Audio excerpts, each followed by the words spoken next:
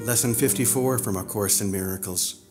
These are the review ideas for today. I have no neutral thoughts. Neutral thoughts are impossible because all thoughts have power. They will either make a false world or lead me to the real one. But thoughts cannot be without effects. As the world I see arises from my thinking errors, so will the real world rise before my eyes as I let my errors be corrected. My thoughts cannot be neither true nor false, they must be one or the other. What I see shows me which they are.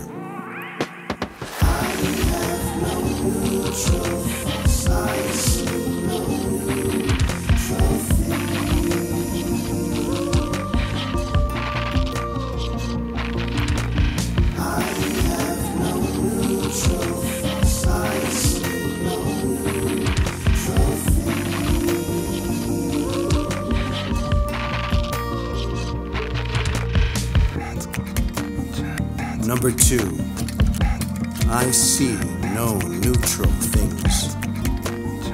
What I see witnesses to what I think. If I did not think, I would not exist, because life is thought. Let me look on the world I see as the representation of my own state of mind. I know that my state of mind can change, and so I also know the world change as well.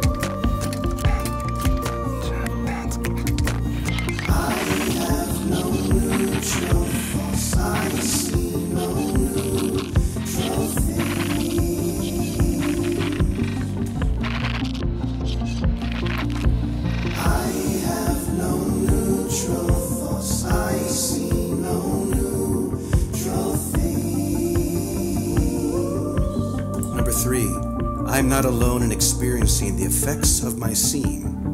If I have no private thoughts, I cannot see a private world. Even the mad idea of separation had to be shared before it could form the basis of the world I see. Yet that sharing was a sharing of nothing. I can also call upon my real thoughts, which share everything with everyone. As my thoughts of separation call to the separation thoughts of others, so my real thoughts awaken the real thoughts in them. And the world my real thoughts show me will dawn on their sight as well as mine.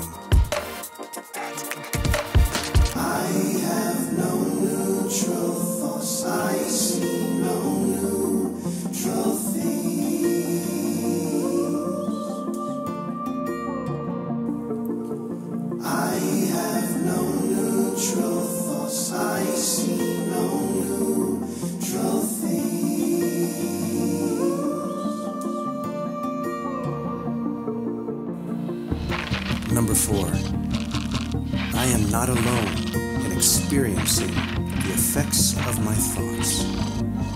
I am alone in nothing. Everything I think or say or do teaches all the universe. The Son of God cannot think or speak or act in vain. He cannot be alone in anything. It is therefore in my power to change every mind along with mine, for mine is the power of God.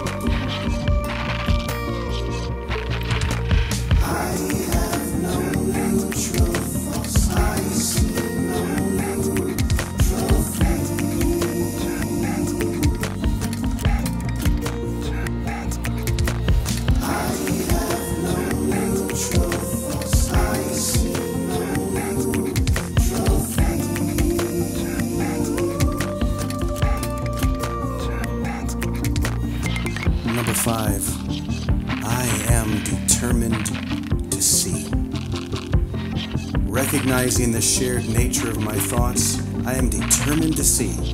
I would look upon the witnesses that show me the thinking of the world has been changed.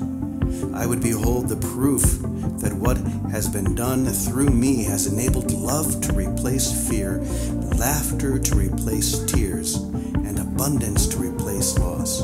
I would look upon the real world and let it teach me that my will and the will of God one.